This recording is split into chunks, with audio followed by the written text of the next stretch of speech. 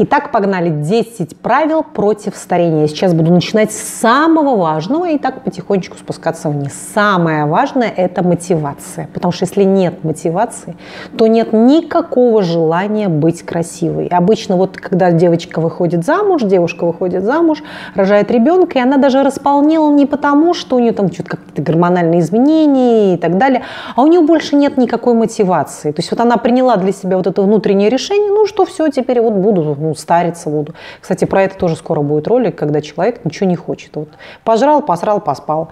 Пожрал, посрал, поспал. Про мужчин буду говорить, про таких пассивных очень, да, собственно говоря. Ну вот и с девочками происходит часто тоже. Или, например, пока я родила одного ребенка, я еще в своей голове думала, ну а вдруг? Ну вдруг что-то у меня сложится с моим там начальником, да, Володькой там на работе, к примеру. Мне хотелось для него быть красивым. Вот это вот, кстати, такой обман, что вот я хочу быть красивой исключительно для себя. Мы не только для себя хотим быть красивым, правильно? Если бы мы не выходили из дома, ну, навряд ли мы прям такими звездами бы хотели. Нам все равно хочется себя презентовать, нам хочется на других посмотреть и себя показать. И это совершенно нормально. Соответственно, вот эта вот мотивация, так вот, возвращаясь, например, к этому ребенку. Вот пока я родила одного ребенка, я чувствовала, что я еще нужна мужчинам. Родила двух, как будто бы вот уже нужна меньше. А родила трех, поняла, что ну вот кто меня возьмет вот с этим выводком, с моим пионерским отрядом? Никто. Буду всю жизнь я жить со своим мужем. Потому что очень часто мужья, они быстро обесцениваются. Как бы кажется, ну все уже, чего уже, живу, ну чего, так и буду, что ли, всю жизнь жить вот с этим вот не знаю, Василием каким-то там, да, да. Вот этот Василий смотрит на меня, я на этого Василия. Вот сколько-то, вот, мы уже прожили, там, не знаю, 12 лет вместе, к примеру. И пропадает вот всякая какая-то, если нет никакого любовника, если нет никаких наметок на этого любовника, если нет никакого интересного тренера в каком-то моем тренажерном зале, да, если как какого-то такого человека нет, то как будто бы нет вообще никакой мотивации. Или, может быть, он и есть, но вот я опять же говорю, вот эти мои трое детей могут говорить мне о том, что Куда ты лезешь? Все уже. Ложись в гроб, накрывайся крышкой, иди огурцы там себе соли. Маринуй, вернее, соли, маринуй.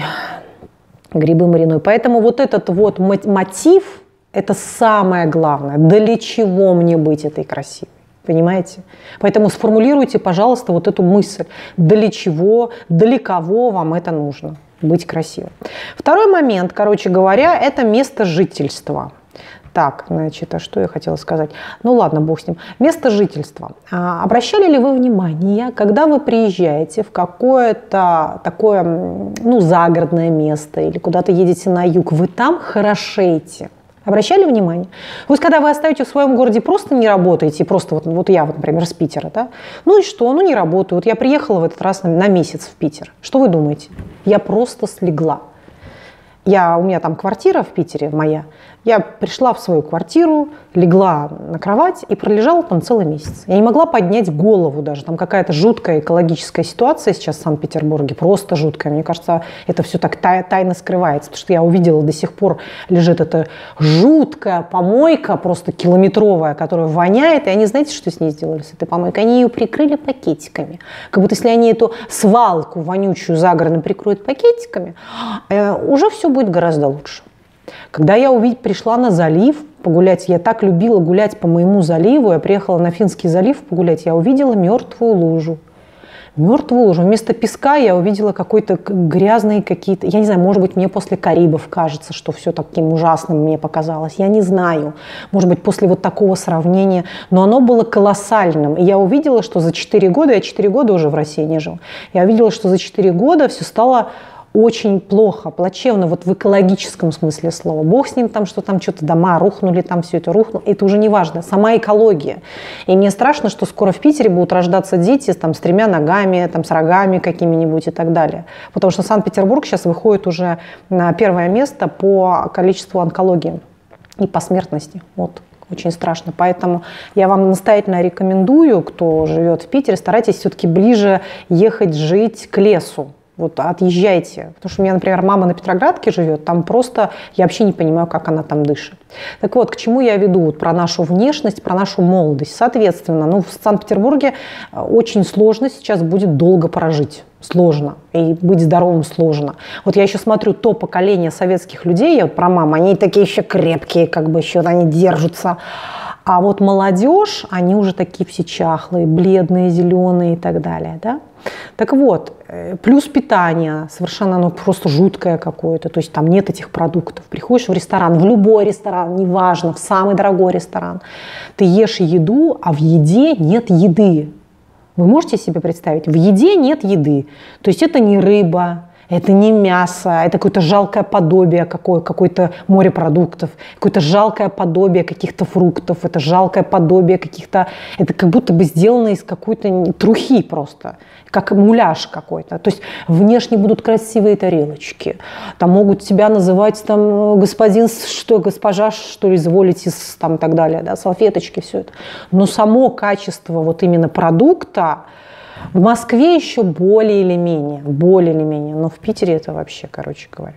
Ну вот, экология. Так вот, что я хотела сказать. Значит, вот э, городские женщины, главным образом, да, вот вы наверняка замечали, что когда вы едете, допустим, на две недели в отпуск куда-нибудь на моря, вы прям такая красавица, такая прям вкусняшка, что вот сами от себя возбуждаетесь. Но как только приезжаете опять в свой город, он мгновенно исчезает, весь вот этот вот э, лоск, да, весь этот загар, вся эта упругость, вся эта красота, и опять я не представляю, как можно быть в Питере красивой. Не представляю. То есть, короче, за месяц я превратилась в старуху. За месяц. Можете себе представить в Питере? Я смотрю на свою супругу, я говорю, Коля, ты просто стал пердуном. Он говорит, а ты вот пердунья. Мы как два старичка каких-то там, значит, пердели лежали. Вот и все.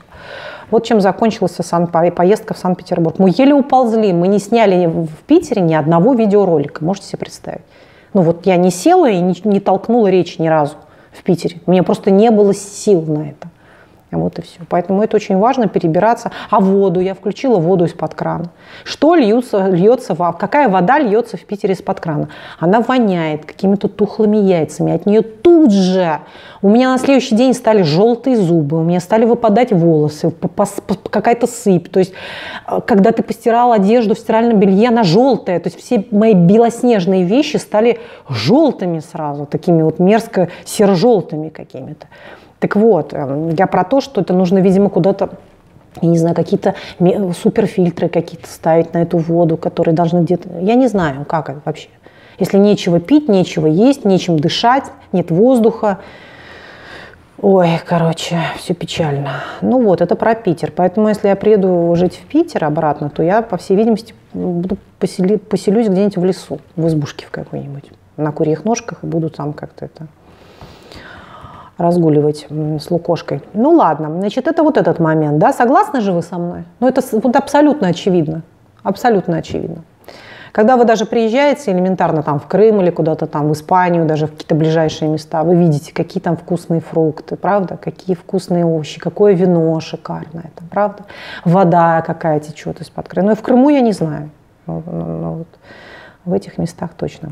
Короче, ладно, следующий фактор, такой момент. Работа. Замечали ли вы, что женщины, ваши ровесницы, те, кто работает, прямо работает, выглядят на 20 лет старше, прямо упаханные в хлам женщины. Видели ли вы такое? Вот я это вижу. Моя одноклассница, я вот вижу, что она рабочая женщина, такой груз, такой вот, вот слой вот этой работяжской какой-то тяжести висит на ней. Поэтому это тоже очень важно. Да? Оптимизировать свое рабочее место, делегировать и вообще его менять и думать над тем, что насколько, мне, насколько я от этого получаю удовольствие, сколько часов в неделю я работаю, как на меня это влияет и так далее. Да? Это очень-очень важно. Ваша работа. Следующий момент, потому что пока ты на этом метро доедешь до этой работы, пока ты до этой маршрутки доедешь, да, ты уже постарела на целый год. Вот и все. И обратно вернулась, еще на один год постарела. Ну и там просидела, тоже постарела. Соответственно, это, эти вещи учитывайте все. Так, четвертый момент – это ЗОЖ. То есть чем старше вы становитесь, тем больше вы должны приближаться к теме ЗОЖа. Конечно, если брать ЗОЖа, ЗОЖи в общем их понимании, в таком ярком понимании, то мы увидим обратный эффект. Наши ЗОЖи, ярко выраженные, они наоборот старятся очень сильно. Они такие изможденные, иссохшие, все со своими там кислородными какими-то голоданиями, этими зелеными соками, детоксами, какими-то программами и так далее, похуданиями. Они выглядят очень-очень плохо. Да? Вот мы эти ЗОЖи не будем брать.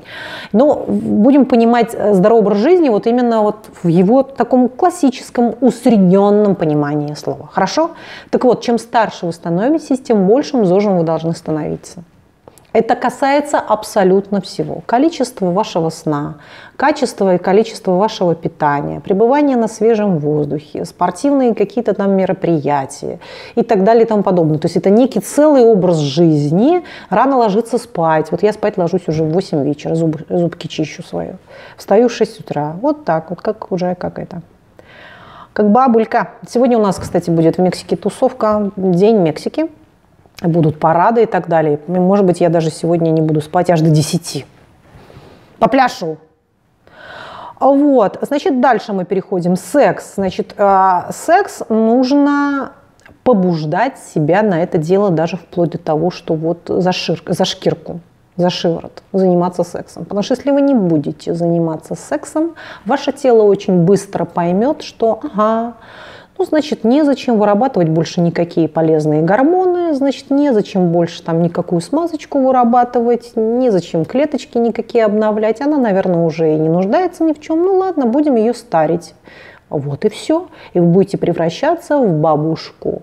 Значит, чем больше вы будете заниматься сексом, ну, никак чем больше, ну, да, 2-3 раза в неделю это хорошо, достаточно. Значит, если вы будете заниматься хорошим сексом 2-3 раза в неделю, в организм будут поступать импульсы, а главным образом головной мозг, что, ага, она, наверное, молодая девочка, она, наверное, планирует рожать еще детей, ну да, тогда надо гормональную как бы ей функцию максимально начать ее активно прорабатывать. Значит, человек хочет жить, да, вот это вот, кстати говоря, про желание жить, это тоже самое главное. Желание жить, потому что люди очень часто умирают, потому что они выбирают бессознательно умирать. Ну что, что уже жить? Скучно уже мне все становится, да, уходит в этот телевизор в какой-то и так далее. В общем, э, секс и еще раз секс до последнего вздоха. Пока дышите, значит, вы занимаетесь сексом. Дальше. Всякого рода активность и вовлеченность в жизнь. Да? Скажи жизни «да». Скажи жизни «да». Говори «да» всем импульсам, которые приходят к тебе. Это, конечно, очень утрировано. Я вот рекомендую посмотреть фильм с Джимом Керри, всегда говорит, да, это очень утрировано, но однако сама суть хорошо прослеживается. Не вот это вот нет, в следующий раз, потом, не надо, а именно проявляйте максимальный интерес к жизни. Вовлеченность, да, вот это эмоциональное, духовное, интеллектуальное развитие. Всем интересуетесь, читайте, смотрите, катайтесь, узнавайте, покупайте новые поездки на любую активность, короче, в любой блудень и в любой кипиш. Да, да, да, только да поменьше вот этой какой-то этой самой. Значит, дальше. Всякого рода внешняя оболочка. Старец седина. Кто-то мне написал, Вероника, и вот такая вот явно, знаете, такая... А почему вы не отрастите полностью свои седые волосы? Это вам же будет великолепно. Вот великолепно будет полностью отрастить вам седые волосы. Представляете, вот мне так интересно, вот из каких чувств человек это написал? Да? Я сейчас, кстати, еще прочту вам один комментарий, который вчера меня просто ввел в состояние как сказать, ввел в состояние сомнения, что начинаешь себе сомневаться. Сейчас я его прочитаю. А, короче говоря, значит, всякого рода седина, большие начесы, очень яркий макияж. Видите, я сейчас все меньше, меньше, меньше, меньше начинаю делать макияж. Значит, чем старше ты становишься, тем меньше этого макияжа. Короче говоря, все экстра, какие-то экстра ногти, экстра начесы, экстра яркий цвет и так далее, он старит. Дальше всякие бабские одежды. Я надеюсь, эта кофточка не будет бабской. Ну, смотрите, я же как должна быть, как английская принцесса принцесса. Я собиралась, по крайней мере. Надеюсь, она не, не бабская. Ну, может, и бабская, хрен его знает. Короче, ладно, неважно. А, соответственно, видите, я стараюсь больше носить рубашки. То есть рубашки, он как бы такой стиль нивелирует бабизм. То есть бабизм он тоже все равно прорывается, правильно? И чтобы вот этот бабизм как-то его немножечко смягчить, вот я одеваю эти рубашки. Все. И бабизм как бы уходит от мужской рубашки. Ну, какой уже бабизм, раз там мужская рубашка. Соответственно, вот. А, что касается всяких ботоксов и так далее, и этих вещей. Это нужно делать, если и делать, то очень осторожно, потому что зачастую это напротив старит. Почему я не делаю эти ботоксы? Ну, я собираюсь делать не ботоксы. Я, меня очень интересуют всякого рода нити. Я вот сейчас смотрю очень много. Меня интересуют не липосакции, когда, значит, эти липан или политики. Меня интересуют какие-то... Эти еще не интересуюсь особо этим так вот прям сильно, поэтому не владею информацией. Короче говоря, но я присматриваюсь к косметологам и думаю, когда пора и так далее. Пока я не хожу ни на какой массаж. Значит, последний раз я была у косметолога лет 12 назад, и мы делали с ней мезотерапию. Пару раз это было, мне говорят, неужели вы никогда в жизни не кололи лицо? Я не колю лицо ничем. Вот я говорю, я делала 12 лет назад, это было 100 тысяч лет тому назад, я делала пару раз мезотерапию. Это, это не давало никакой эффект вообще. То есть это вот как-то слегка освежало чуть-чуть лицо, цвет лица слегка освежало. Все, я больше ничего никогда не делала, понимаете? И массаж даже не хожу, не делаю. Вот надо походить на массаж, я делаю только эту самую, как его, фейсбилдинг. Так вот, почему я это не делаю? Мне не нравилось это на моей маме и на моих подругах. Я видела, как походы к косметологу их уродуют. Это не значит, что косметологи уродуют, у них руки и жопы, хотя и такие тоже есть. Это говорит о том, что это были неправильно подобранные процедуры на данном случае на лица, по, по большей части. То есть им это было не показано. Например, вот у моей мамы, у нее такая же мясистая, как бы мясистое такое же лицо, как у меня. У нас много жировой прослойки, очень много в лице. Преимущество этого то, что кожа не истончается, она всегда очень такая турбур хорошая, упругая, да. А так вот, она в эти щеки стала что там она там стала, ботокс, филлеры ставить. А на, наши, вот на, эту, на нашу мордатость нельзя ставить филлеры. Нельзя. Нельзя ее обкалывать никаким ботоксом. Она начинает становиться такой отечной, как за, за булдыгой такой. Понимаете? Нельзя трогать эти губы, они будут тоже забулдыжные такие. Соответственно, когда я смотрела на своих подруг, вот на эти забулдыжные лица, такие вот пропитые пьяницы, как будто бы отекшие. Я все время говорю, что вы, боже, я говорю, мама, ну хватит этот кошмар, мама, ну что ты делаешь, остановись, остановись, остановись. И подругам тоже, понимаете? Так вот, я понимаю, что это можно делать, но очень-очень осторожно. Я хотела прочитать письмо одной подписчицы, не письмо, а комментарий. Она мне оставила комментарий. Я сейчас еще сделаю пост в, в Инстаграме на этот комментарий, потому что это, это что-то, такой жесткий газлайтинг. Послушайте. Значит, это пишут очень часто такого плана. Мне в Инстаграме пишет девочка мне. Открытый комментарий, все, пишу, читаю. А зачем обманывать про ботокс? Ну что тут такого? Век красоты. Нормальное явление. Все мы к нему приходим в том или ином возрасте. Вы великолепно выглядите. Но очевидно, что уже делали уколы красоты. И не просто массаж подбородка. Он заострен у вас. А у вас, возможно, липолитики уже кололи. Почему вы этого стесняетесь? На лбу у вас нет характерной мимики. Мне очень нравятся ваши видео. Недавно начала смотреть. Но я за правду и искренность. Доверие вызывает тот психолог, который говорит правду. Так вот, что я хочу сказать, что это такое. Да? Во-первых, очень интересно, какие девушка испытывала чувства, из какого чувства она писала вот этот комментарий. Да? Это ну, нам с вами интересно, мы же увлекаемся психологией. Да? Что за мысли были у нее, то есть какие мотивы, какое побуждение было на самом деле это писать. Ну, вы знаете же, я очень откровенный человек, правда? Соответственно, как вы думаете, зачем она все это написала? Так вот, э, какой эффект это имеет, скажите? Это, это газлайтинг, самый настоящий. Вы смотрели у меня ролик про газлайтинг? Когда тебе начинают внушать, что ты это делала методично, ты это делала, ты это делал, ты это чувствовала, ты это чувствовала, ты вот это сейчас чувствуешь, понятно? И ты в какой-то момент начинаешь в себе сомневаться – я в какой-то момент подумала, может, действительно я какие-нибудь поставила там нити и забыла уже. Может, действительно какой-то липолитик в подбородок колола, просто не помню уже. Но хреново она, может, была. А вдруг там я что-то, может, какой-то филлер ставила. Вроде не ставила, да? Вот когда тебе массированно вот так вот пишут, пишут, пишут, пишут, ты начинаешь в себе уже сомневаться. Или когда тебе пишут, а, там, Степанова шарлатанка, у нее нет психологического образования, нет образования. Я думаю, что у меня действительно нет образования. Может, его, может, мне показалось, что я училась, или, может быть, я училась, но это, может быть, недостаточно училась, да? Вот такие вот постоянные какие-то, это же сотнями пишут. Вот почему, кстати, вредно читать комментарии, потому что они сотнями приходят, и очень в большинстве своем очень часто они такие негативные, эти комментарии, вот они льются. Так вот, посмотрите, этот комментарий называется «Чистой воды газлайтинг». Вот и все.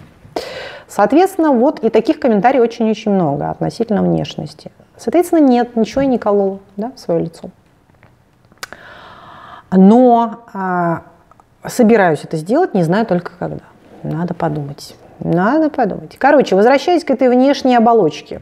Значит, нивелировать наш бабизм, который у нас вылезает с годами. Он вылезает. Во всем вылезает и сквозит. Поэтому старайтесь этот бабизм как-то по какой-то там а, по какому-то моменту его минимизировать. Идем в ногу со временем, короче, вот. Вот мне так часто пишут, Вероника, вы в 90-х застряли. Может быть, кстати, может быть, я же женщина из 90-х. То есть вполне может быть, что какие-то такие из 90-х вылезают у меня, там, макияж какой-то не, не актуальный. Поэтому надо почаще быть с молодыми, так сказать, молодые, молодые тенденции смотреть. Куда там наша молодежь идет, что они там намазали, тоже там нам... Правда, и вот эта тенденция очень широких бровей, я ее не подхватила, допустим. Ну, это жуть какая-то. Сардельки были одно время. Сейчас хоть более-менее что-то приличное вот. Короче говоря, знаете, что я еще хочу попросить вас, ребята?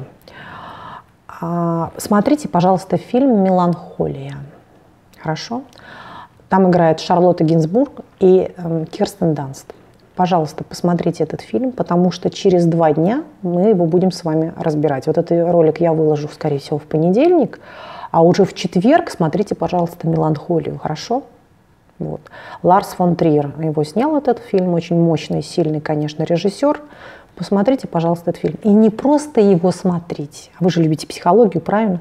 Смотрите его с точки зрения психолога, то есть что стоит в основе, что на самом деле происходит. Не просто как обыватель, а уже как психолог. Я вот даем такое домашнее задание. Прямо прописывайте это в голове. Мы с вами его разберем, хорошо? Все, я вас целую, обнимаю. Надеюсь, вы поняли, что я имела в виду про нашу молодость. Я вас целую, обнимаю.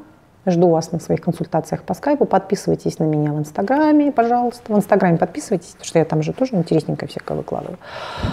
Вот, и ну все, больше мне ничего вам сказать. И на мой, на мой YouTube тоже подписывайтесь.